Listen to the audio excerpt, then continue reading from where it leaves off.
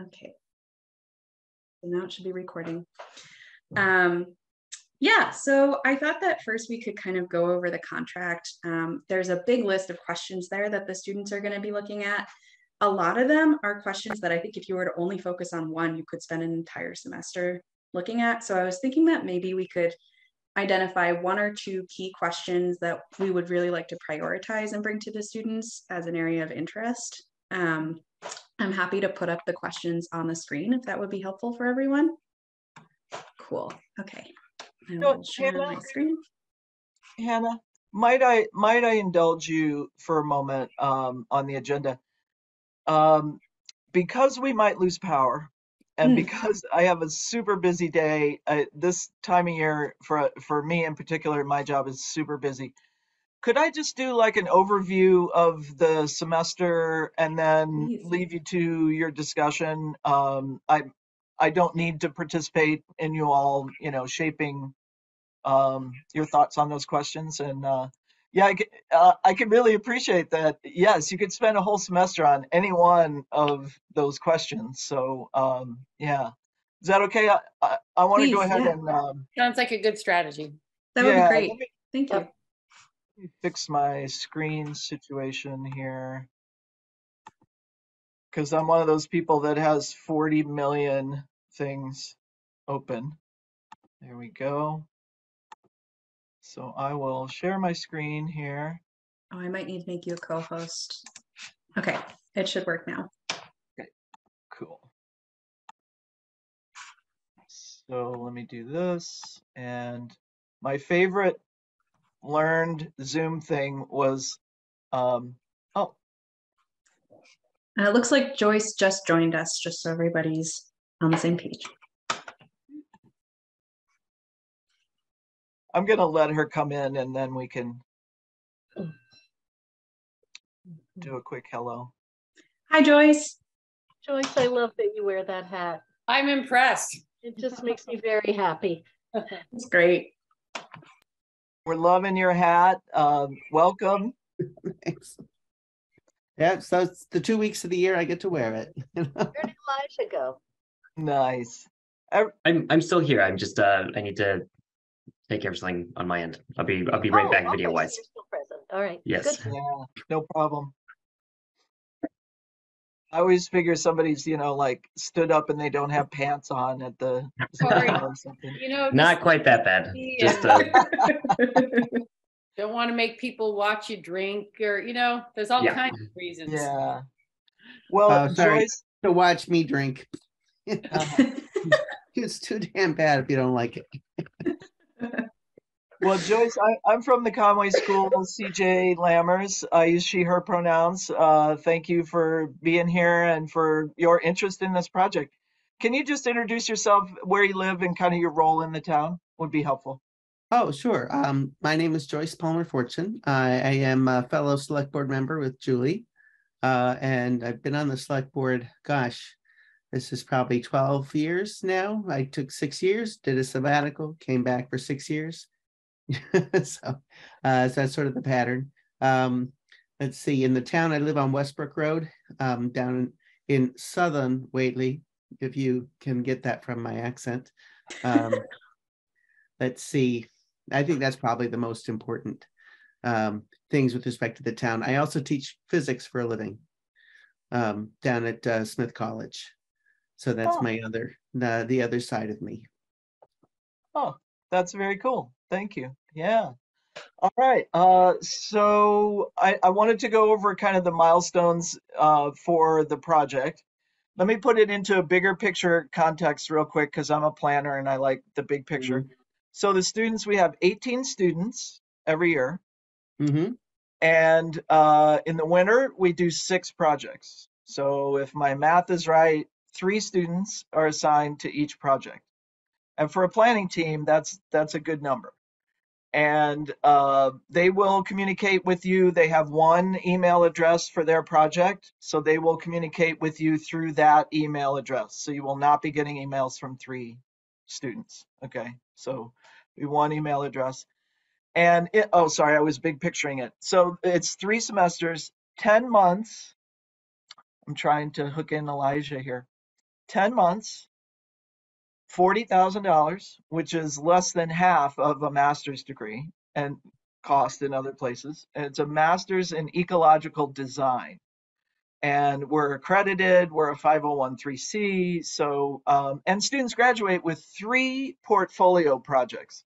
So they do a small scale project in the fall. We did one in Whately for the Veterans Memorial a few years back. And then in the winter, we do large scale planning projects, big thinking, like the one we're talking about here. And then in the spring, they do um, small, it's still large scale design, uh, but it's more design focused. So designing parking lots and trails and uh, parks and just you name it. Um, so they get an experience at three different scales. Okay. So this scale being the winter term is big picture thinking. So while the students are going through the process of doing your project, they are simultaneously taking courses in planning. I'm one of the instructors in the winter term. Uh, there's also a part-time planner, uh, I mean, part-time planning faculty that's there even more than I am. Uh, so they get taught by by faculty as they're going through this and we all help them out with their projects. So every Wednesday, I go in one o'clock, and all the teams have to do a presentation of how Hmm. far they are along in the process. Okay, so um, you know, it's, I think it starts the third weekend. So the third weekend, they're like, we've had our first meeting with our client, we've done some research, you know, this is where we are. And so they learn presentation skills along with how do I summarize the information that I have so far? What are the gaps? All of that kind of stuff. The the process is just really um, really amazing to watch over the course of a semester. So let's talk uh, specifically about uh, this project and the dates for this year. So these are a little bit uh, flexible. Actually, we know better now that this is the 10th and the 12th is the first client meeting hap. Oh, it says this week, but we know that those are uh, January 10th and 12th now.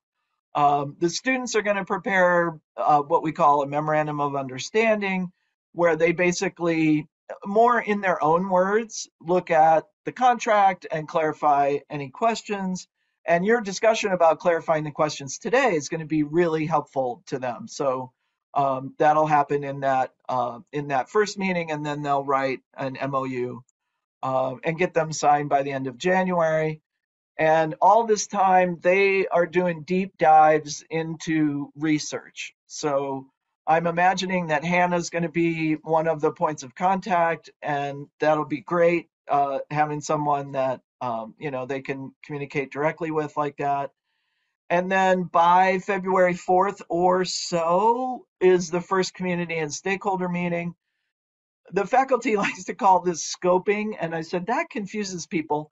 Um, but it's really about, you know, are we looking at all of the right questions? You know what I mean? Like, are we looking at the things that really matter? Are we, is, you know, where are the gaps? Um, it's all that kind of thing and you'll see a lot of uh, analysis, you know, SWOT analysis, you know, the, what's what's old is still uh, good practice kind of thing.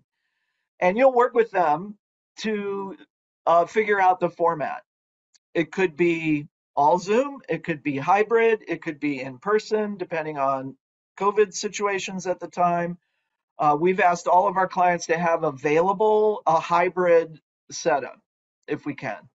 So that's that's really the best uh, tool I think at this point. Given I just saw a news um, bit this morning that COVID numbers are back up, and then this is going to be right after the five colleges people come back from break, traveling all over the place, and there's always a spike in the valley after that. So um, you know we want to be careful uh, around that for our students as well. So um, anyway, uh, formal presentations. If you have mark on your calendar, if you haven't already, February 24th. That's a Friday, um, and uh, it's a one-hour time slot. The students do, I think it's 20 minutes of presentation, 20 minutes for the subject matter experts that we invite to give feedback, which is awesome. That's actually how I got associated with the school was um, that I was able to uh, come and be a subject matter expert in planning. So that's how I, that's how we found each other. Other than I also, Elijah, knew a bunch of Conway grads and was a hiring manager. And I will tell you, if I saw that somebody went to the Conway school, it went to the top of the stack because I know they know how to work with people and presentations and all the good things. So uh, we call those formal presentations or works in progress. They're only about two thirds done at this point. We're not like some design schools that wait till the end and oh, you make your grand presentation and you're done. Bless you, go on. We do it at about two thirds of the way done so that we can get all this expertise into it and feedback and um, all those good things. So then the second community meeting will be around March 4th or so, and then we'll get the drafts to the clients on or about the 17th, and then you have three days to make the final comments. That's not to say that you haven't seen drafts along the way. You, of course, will have. But this is the last, you know, it gets sent out. We have three days.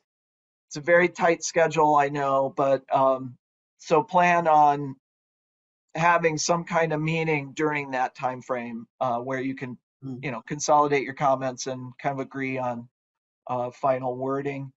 And then um, uh, by the end of april is usually when we get um, the final documents back from the printer. Uh, so it's you know about a month into our spring semester that those get delivered. So any questions about kind of the timing of things process No,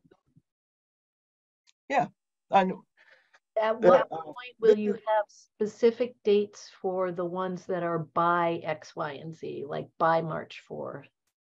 By, uh, things that we have to show up at. Yeah, yeah. I think that's part of what you'll talk about with your team at the first meeting. Got it. Okay, thank you. Uh, I know everybody wants to plan ahead, so I would suggest that that first meeting, you set a date for the first community or stakeholder uh, engagement session. Okay. Yeah. I think that's that's wise because that'll be either the 10th or the 12th of January, and then two three weeks later is when the meeting would be. So if you schedule that ahead of time, that's helpful. And just to know, Tuesdays and Wednes Tuesdays and Wednesdays are best for the students. We do invited lectures, lecturers on Thursdays, and wow, having Zoom has really changed that so much. So Mhm. much diversity, and people from all over the world really are coming to speak on Thursday afternoons.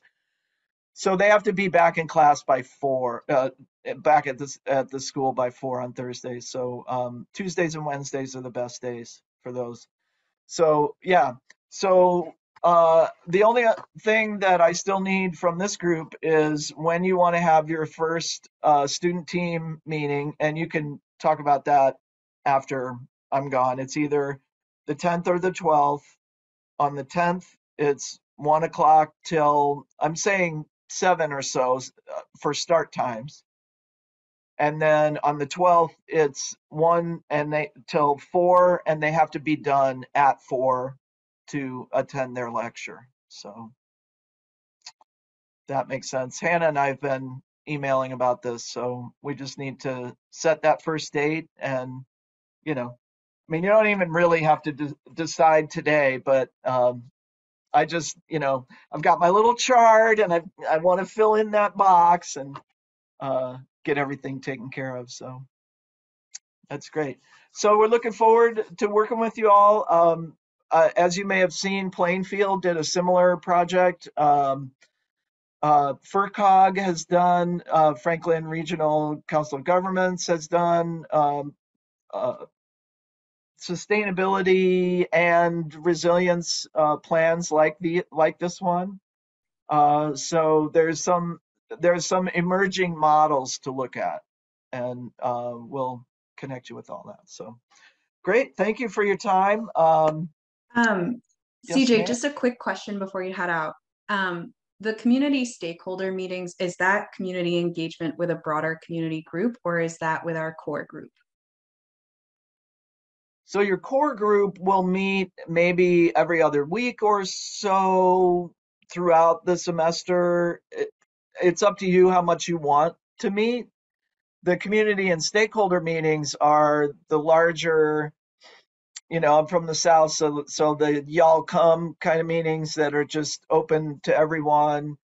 Okay. Unless, unless you decide, you know, I, I, I don't like to box students Mhm. in about how the community engagement will go, but some communities have like the first meeting, well, they announce that, hey, we're doing this thing, but the first meeting might be a, a smaller group of uh, more engaged, more, you know, um, uh, what I want to say? I don't want to say informed, but you know, not the hey, let's have everybody come and comment. I want to, you know, I want to Mm. leave some flexibility in that. Um, a lot of times the first meeting is, hey, we did all these maps, and what do you think of these maps? And people love to interact with maps, and you know, um, we've Mm. figured out ways to draw on Zoom, so that's kind of cool. Uh, so people can interact with maps that way as well as uh, physically in a meeting. Uh, so, you know, sometimes that's what the first meeting is about. You know, the second meeting is usually more about, hey, we're making these recommendations. We're getting close to the end. What, you know, what are you thinking about? But that first one can be kind of whatever you feel, you know, makes sense based on, you know, when was the last MVP meeting that was kind of a y'all come? It's been a couple years. Yeah, yeah, the planning took place before I started at Whately in 2020 and 2021. Okay. So, Yeah.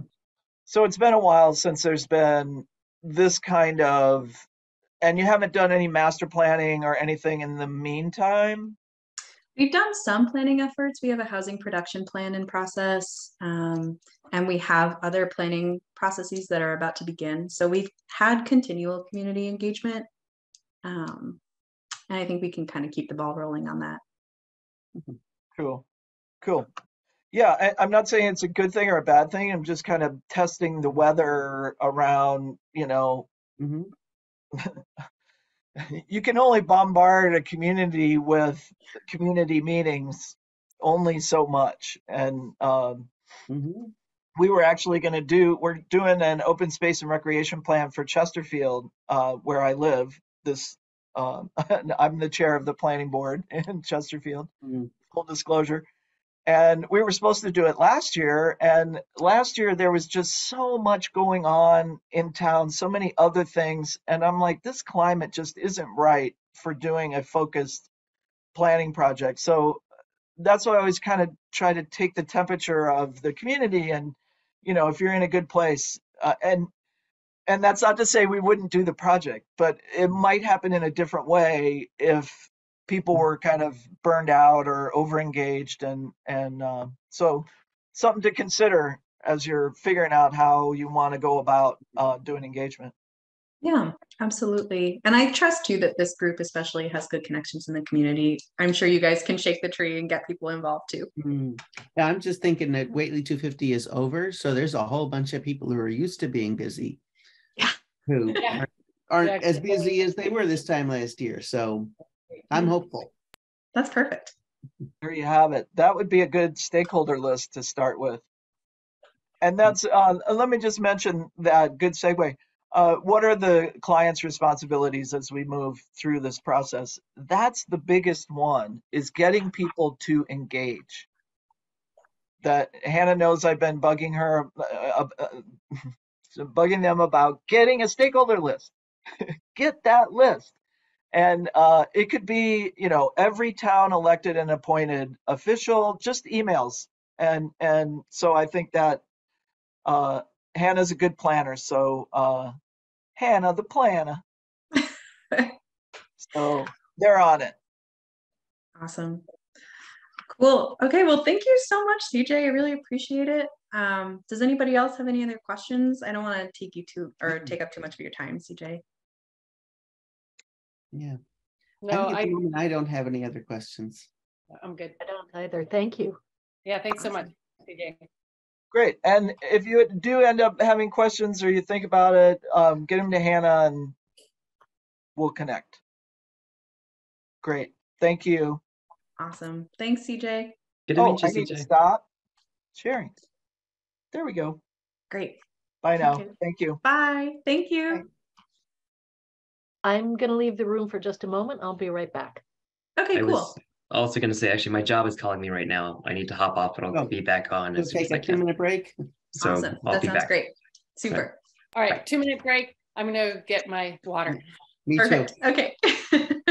Great. Okay. Um, I'm not exactly sure how long the work call with Eli will take. Um, and I don't want to keep you guys too long, so I figure maybe we could get started and then Eli Sure. can jump in when he gets back. And Perfect. Eli's one of the students?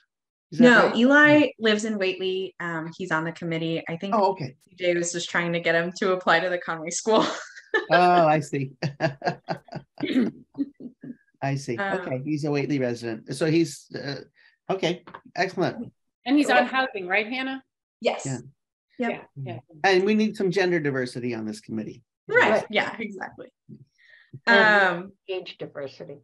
I I mean, don't Hannah we thought was we part got of that. now. Hannah. yeah. I know. Yeah. I'm part of that now, but still.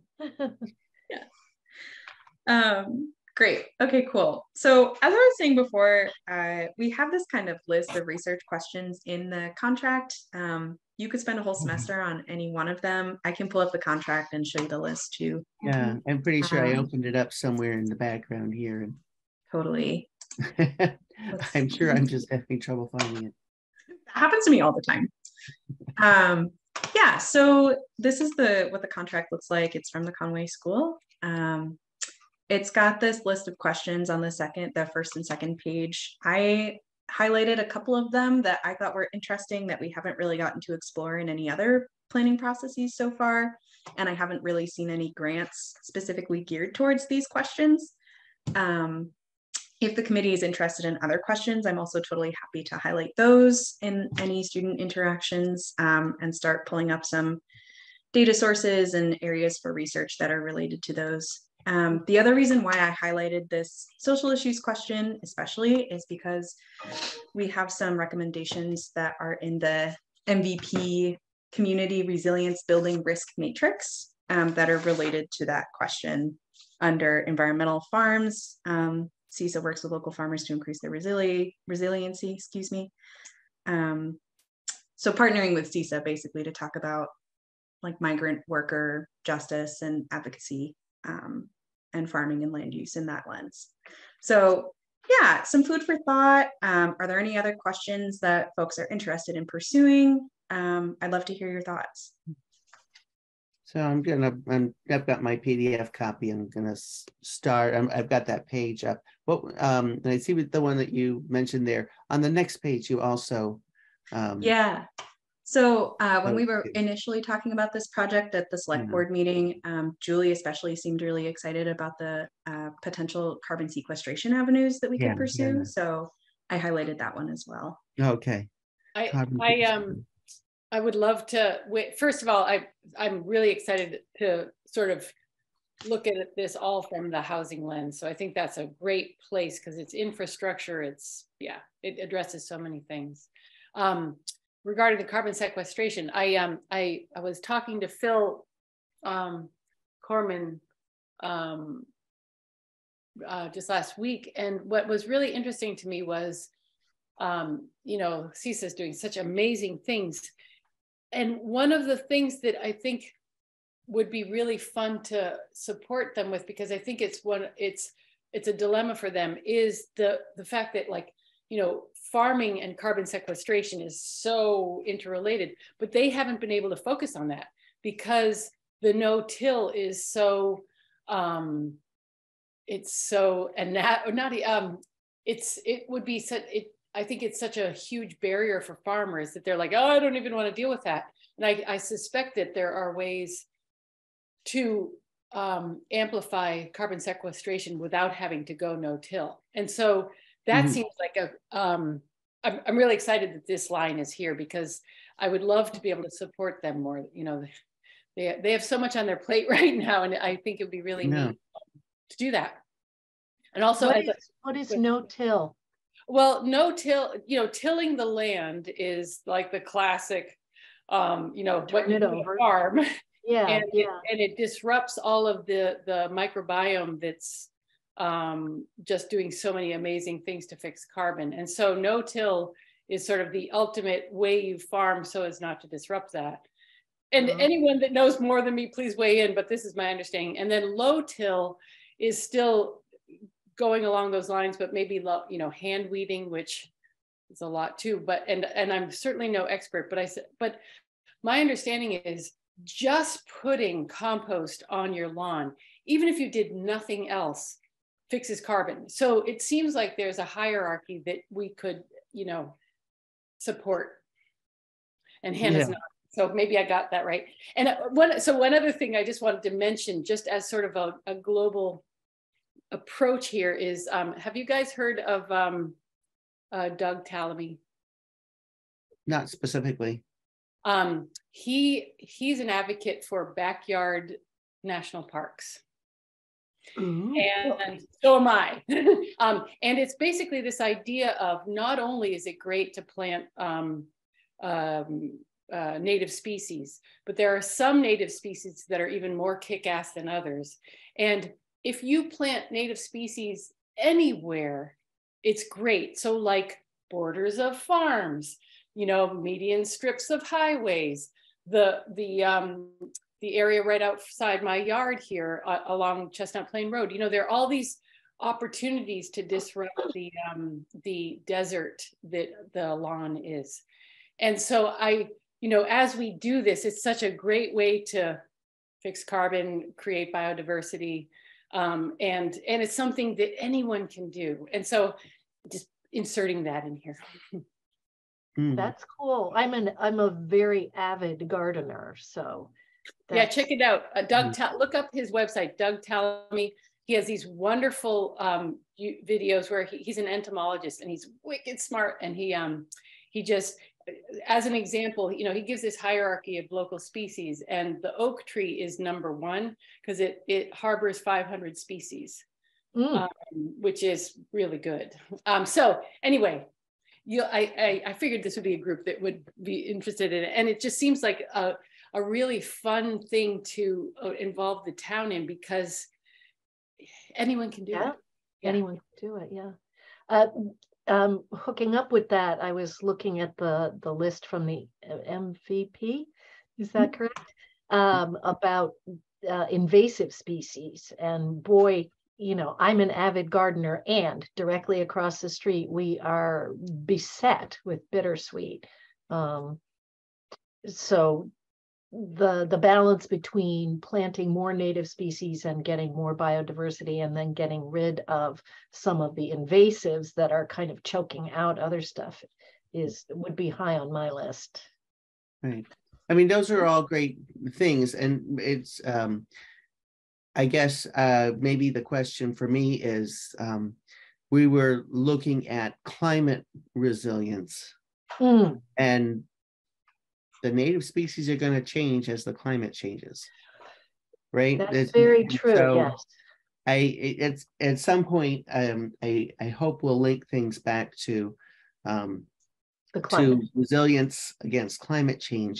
I think Yep. the soil stuff is super, super important because that's how we can help mitigate by having strong um, local food supplies to support that because it, everything else is gonna um, every, everything else is, is gonna hurt the soils. And so anything we can do to keep soils healthy um, and even if it were just if could we somehow find a local fund for cover cropping because I think all the farmers would love to do it uh, when they got paid to do it or got the costs covered through the government. Everybody did it, and then when that funding goes away, they don't do it. So could we uh, Mm. even you know till no till that's probably the farmers are going to have to answer that one if they're willing to do the extra work for that. I understand if you do it, then eventually it's you're much much better off than if you don't. But um, so we might be able to figure out a way to help encourage those. Um, but could we identify a, a, sustainable method to fund just cover cropping in our town?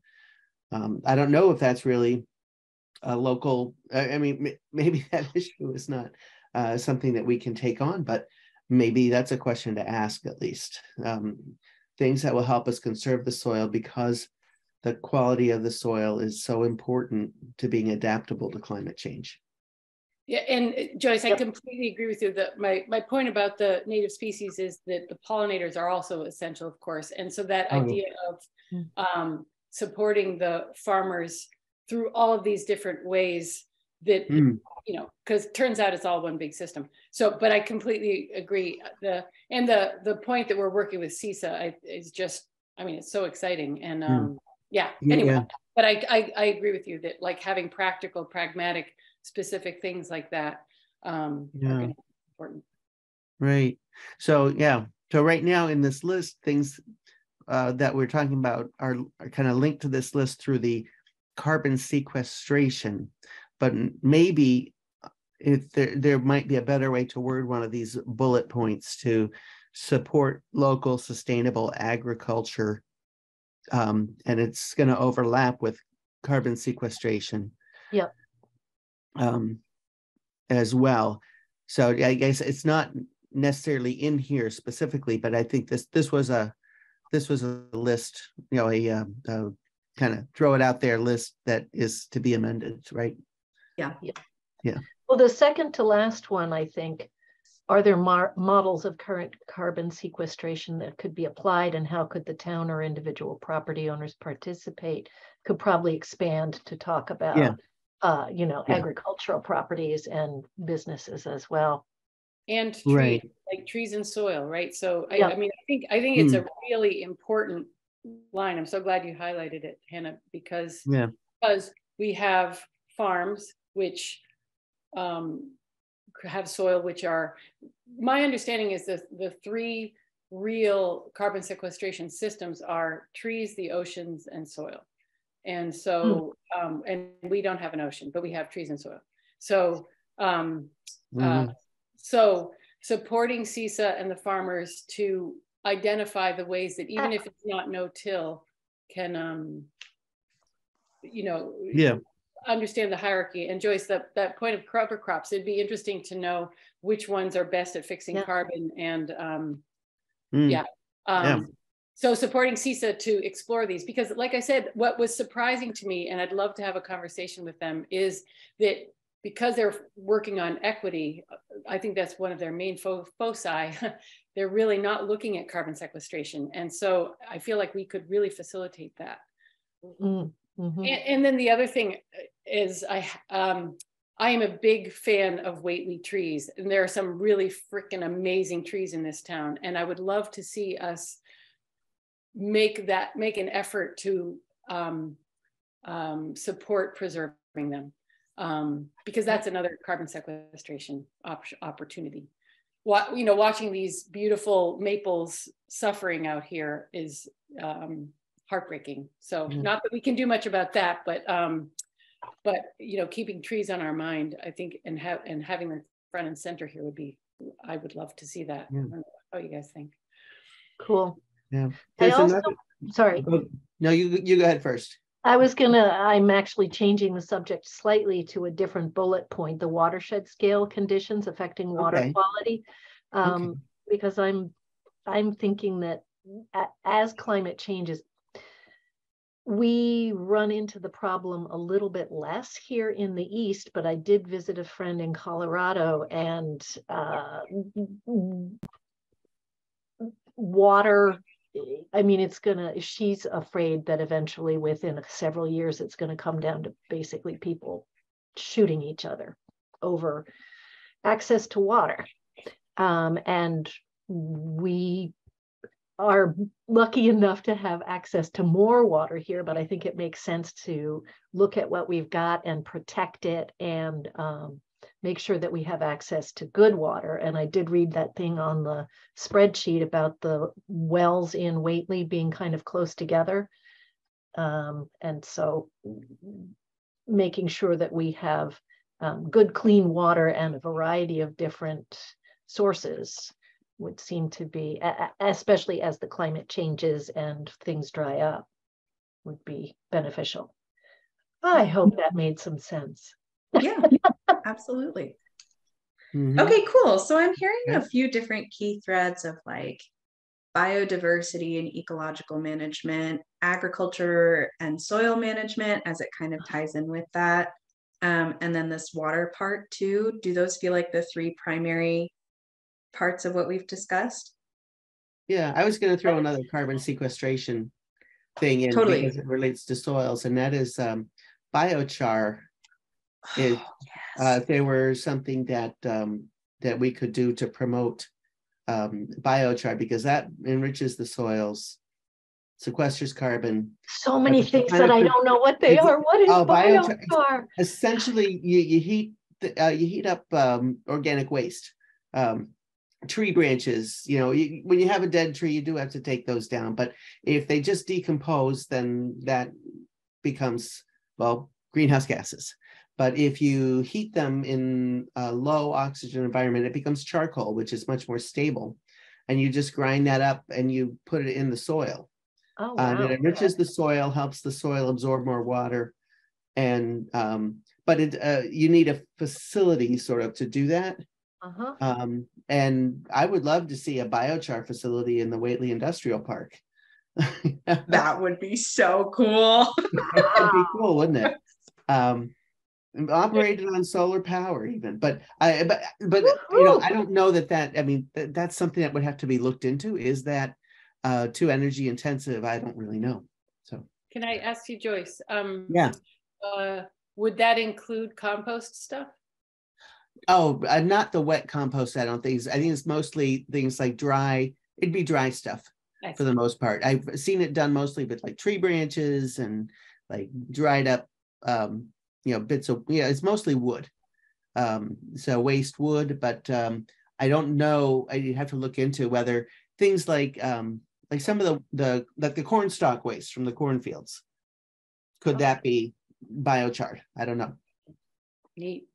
But that's, it's a neat idea to um, have sort of a, a local industry that is climate resilient, climate supportive.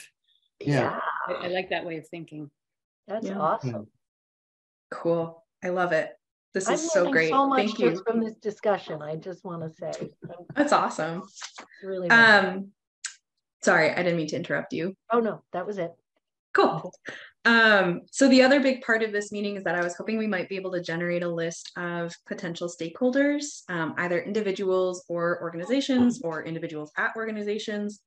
Um, so far I have CISA, the Pioneer Valley Workers Center, in case we wanted to talk to anybody about migrant workers, um, FRCOG. And then if we were going to talk about housing at all, which it sounds like we're kind of moving away from that, that's totally fine. I had the Franklin County Regional Housing and Redevelopment Authority. Um, are there any other organizations you guys can think of that might be really important to reach out to? Or I'm any individuals? About, um, I'm a graphic designer and one of my clients is Norse Farms. I was just Mm. thinking Norse Farms too. Folks at Norse Farms, because they've got migrant workers, they're, you know, heavily involved in agriculture, of course, blah, blah, blah. They, they definitely have stakes in the game. Cool. I, um, I, I would hate to really move away from housing. Maybe, maybe it's a, maybe it's necessary if we're going to limit the bullet points. It just seems like it is very much dovetails with the issues Mhm. around farming particularly. And Mhm. as you mentioned, or maybe it was in the Conway School uh, letter, the point about town, people in town um, being aware of people moving to more rural areas um, because of COVID, et cetera. I think how's um, um, infrastructure planning, or rather, what, what am I talking about? Housing planning that uh, recognizes and protects open space and also recognizes the necessity for us to um, embrace people moving here, including migrant workers who might need housing. So I think Hmm. I, I, I feel strongly that it has to be part of the conversation or, or I would love it, let's say. And I know Elijah's on the um, housing committee. So anyway, Yeah. um, I, I, want I to would, that out I would also be uncomfortable, t- you know, tossing housing just because we got enthusiastic about the second one you put a star on. than there. Exactly. Um, yeah. Yeah. So I hope, we, I Yeah. hope we can talk about both. Yeah, but that Cool. said, the the fourth bullet point on the first page, how can green energy solutions be carefully integrated into the rural landscape? Um, there's going to be funding for that because of the the IRA, and I don't mean the Irish Republican Army. Um, I mean that that that that not that's oh so nicely named bill that uh, got passed, um, and I I think any pressure we can take off of farmers is good. We have an example of a dual use solar and farm fields right up there in Deerfield, and um, uh, I don't I don't know what uh, because I haven't looked into it very much. Um, but I had a student in my renewable energy and climate change course wrote her final project on uh, on basically uh, she was talking about you know animals and renew- renewable energy and she went into it thinking renewable energy that's so bad for the birds and at the end of it she's like renewable energy is so good for the birds and and and, uh, and one of the things she cited was the farm at UMass, uh, the one in Deerfield. Um, and so I haven't looked at that in a while, but I'm wondering if there's some lessons learned there Mm. that would be good for farmers to be able to incorporate renewable energy. I know our planning board does Oh. not believe that you can have farming and solar panels on the same piece of land in spite of, you know, anything that exists as possible. They don't go for that. But um, I think that's that's something. Um, so I'm going to put a star on um, on that one as well. Um, and I suspect if you know with with those three bullet points and the way we've sort of um, widened that the one about carbon sequestration to include uh, anything that's good for the soils, um, that might be more than they can do in one planning around. They might ask us to cut back, but it's but it's easier to cut back than it is to to fill in, probably, right? Yeah, I Yeah. think so. Yeah, yeah, that's it. Cool. I, I agree, Joyce. I think that's really important to have that conversation. So thank you. Yeah. Because you know, i- i- income for farmers, you know that that uh, Yep. because they they have so many other things that are uncertain.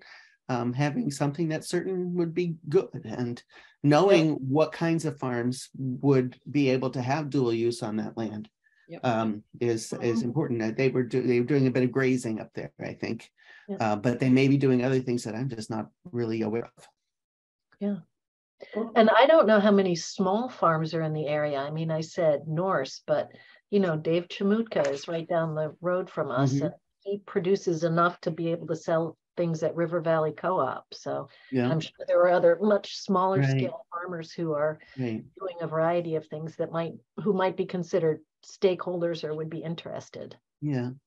My understanding is that neither of those farms are the ones that have trouble with housing their migrant workers. So there is one farm that is has repeatedly been in trouble with the, the conditions of the housing for their workers. And I don't know where that fits in here, if that's makes them a stakeholder or someone whose problem we're trying to help solve. I, Yeah. I so there, I, I don't know enough about the situation. Maybe Are you uh, allowed to say which farm that Elijah is? might know. Are you allowed to say which farm that is just for information or is that not? It's been in the newspaper, so that I mean Chang Chang Farm Right, okay, yeah, citations on the quality of the Right, housing right. for their for their workers. Yeah, thank you. I did see that. Okay. Um, okay, so it's getting a little bit close to one. I don't want to take up too much of your days. Um, do you think these last few minutes would be better spent coming up with a good meeting time for the student team, or would you like to throw out a last few thoughts? What do folks think? I think a meeting time's a good idea. Yeah, that's probably an idea. Great. Welcome back, Elijah. Thanks. Um, Sorry I had to pop up there. Oh, No okay. problem. Uh, so our two options for meeting with the student team are January 10th, anytime between one and seven. It doesn't have to be that whole span. It's just um, about an hour, hour and a half meeting Mhm. within that window.